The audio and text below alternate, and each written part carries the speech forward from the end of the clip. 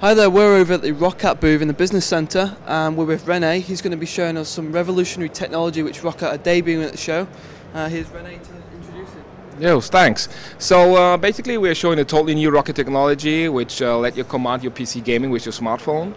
Uh, it's called Roccat uh, Power Grid. It's available for iOS devices for beta test right after CeBIT, and will be available for Android devices and Windows uh, Windows devices by end of the year.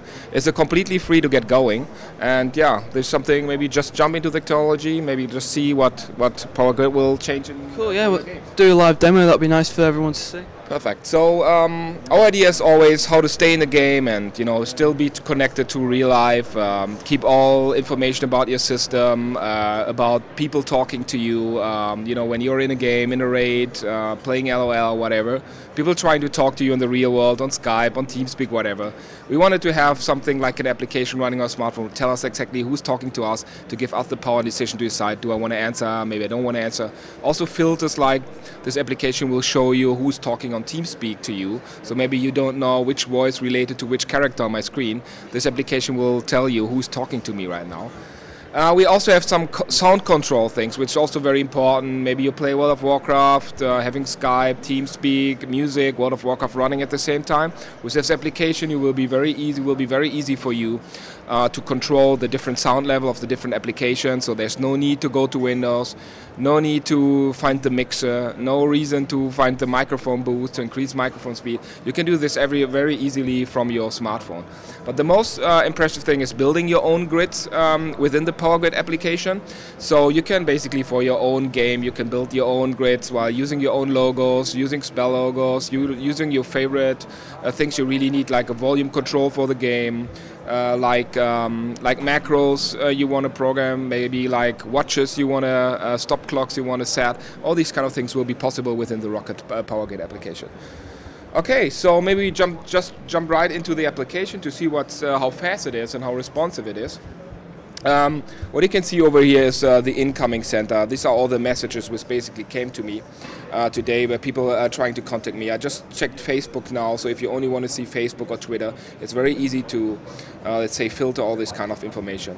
Let's jump directly into the system stats. What you can see over here is my CPU power, you can see the net usage, the RAM, how many RAM I have, my hard drives. I can even set timers or stopwatches. So if you want to um, have a pizza in the oven for 15 minutes, you just simply press uh, press press a button for stopwatch, and after 15 minutes it will tell you, listen, uh, don't forget your pizza, go to your oven as fast as possible.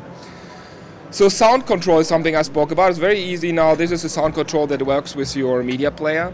Um, you can like skip a song, you can stop a song, you can um, easily play the song again. But you can also set different kind of so, uh, of, uh, of sound volumes. You can uh, skip within the song if you want to say, okay, I want to start at six minutes, no problem.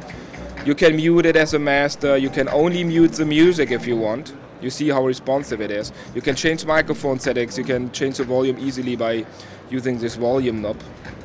But, which is very interesting and very uh, important to gamers, is to see all these kind of different um, uh, sound levels. Uh, so if I only want to change my Windows Media sound, I just easily decrease it. So it will be only changing my Windows Media sound. And if I, for example, want to hear more from TeamSpeak or from Skype, I can change the application sound easily from here to have more volume in terms of Skype.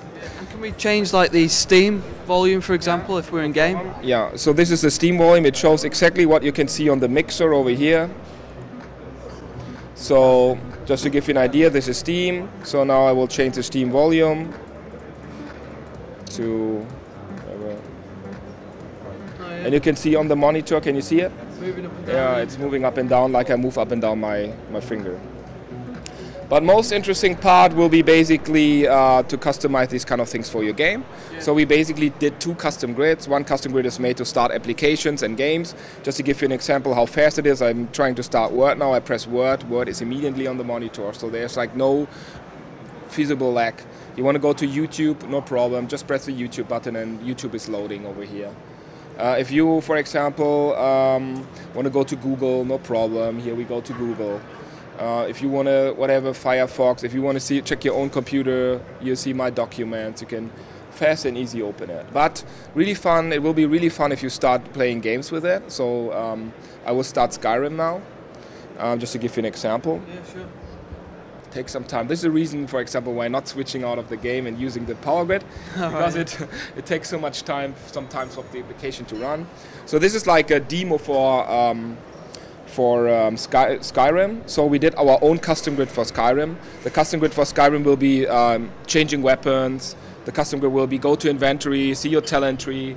It will show me the clock, so I know what time is it, how much time am I able to do, you know, to spend on gaming.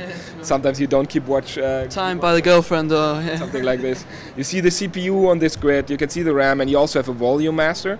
So just to show you, uh, I want to change my sword to a flame. I easily press flame. I want to have it on both hands, press flame again. I want to have sparkles on the left hand. I want to use a sword instead, so I press sword. I want to heal with my left hand. You see how responsive that is. I want to go to my quest tree. Just press quest, uh, um, quest tree. I want to see my talents. So that's where the talents come up. So you see how responsive the whole thing is. It's like immediately in time you can see changes on this. So um, in terms of you know you were just getting up various spells and, and different actions within Skyrim. Uh, you can get those on the Roccat website, is that right? Um, the, um, the, the, the building the grid is open for everybody, and we will make something like a Roccat Grid marketplace where people can basically share whatever grid they do. So if you want to make your own grid, you know, because you have several classes, different classes in these kind of MMORPG. So if you want to make one for your dro- druid, for example, or for your priest, you can make one and you can easily share because sharing is something uh, very, um, very important to us. So if you want to make one for your guild or your clan, you can make one grid and send it to all your clanmates so everybody can use it. Yeah, and so if you if you've got a pro gamer that you particularly follow, you can download the Right. the way they the way they game basically. Yeah. Okay, so um, yeah, that pretty much concludes everything. Uh, as you can see, it is very extensive and obviously uh, available with the Apple phone at the moment. Android's going to be available and uh, Windows Mobile as well. So as soon as that becomes available, we'll have uh, a full look at that and a little article. So I'll see you soon and look out for more videos of CeBIT 2012.